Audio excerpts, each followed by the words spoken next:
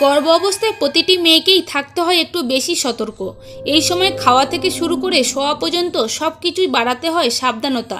নিশ্চয়ই জানেন, গর্ভ অবস্থায় ফল ও শাকসবজি খাওয়া খুবই জরুরি, কারণ এতে গর্ভবতী মা এবং শিশুর পুষ্টিমান বজায় থাকে, দেহ রোগ প্রতিরোধ ক্ষমতাও বাড়ে। তবে এই সময় এমন কিছু ফল আছে যেগুলো এড়িয়ে চলাই ভালো, নইলে এতে গর্ভবতী মা ও শিশু উভয়েরই মারাত্মক ক্ষতি হতে পারে।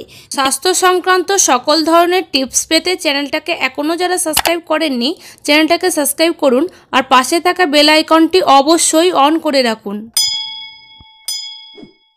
দেরি না করে চলুন জেনে নেওয়া যাক সেই ফলগুলির ক্ষতি সম্পর্কে। যেমন আনারস।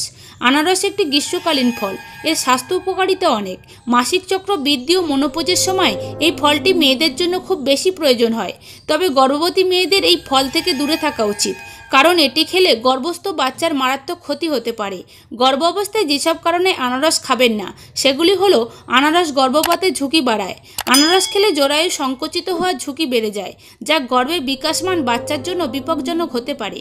আনারসের ব্রোমেলিয়ান জরায়ু মুখকে নরম করে। দুই পেঁপে। কাঁচা অথবা অর্ধপাকা পেঁপেতে ল্যাটেক্স থাকে, যা গর্ভ অবস্থায় এড়িয়ে চলা উচিত। গর্ভবতী মেয়েদেরকে দ্বিতীয় থেকে শেষ সময় পর্যন্ত কাঁচা পেঁপে না খাওয়ার পরামর্শ দেন বিশেষজ্ঞরা।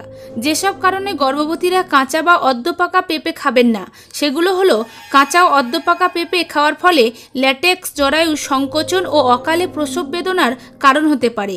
কাঁচা পেঁপে শরীরের তাপমাত্রা বাড়াতে পারে। কাঁচা পেঁপের পাপাইন ভ্রণকে সহায়তাকারী ঝিল্লিকে দুর্বল করতে পারে। তিন, তেঁতুল। ভিটামিন সির অন্যতম সমৃদ্ধ উৎস হলো তেঁতুল।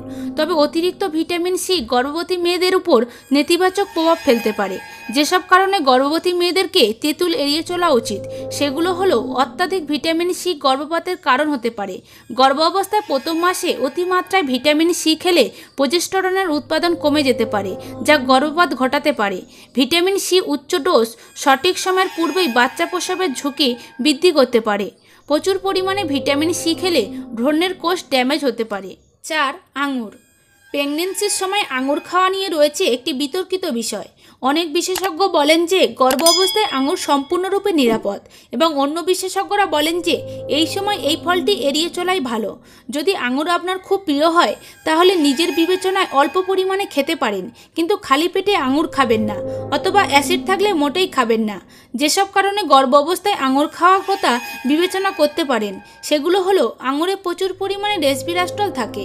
এই কেমিক্যালটি মা হতে যাওয়া মেয়েদের জন্য বিষাক্ত হতে পারে। গর্ভবতী মেয়েদের পরিপাকতন্ত্র দুর্বল। তাদের দুর্বল পরিপাকতন্ত্র কালো আঙুরের খসা হজম করতে পারে না। বেশি পরিমাণে আঙুর খেলে অ্যাসিডিটি বমিভাব ও বমি হতে পারে।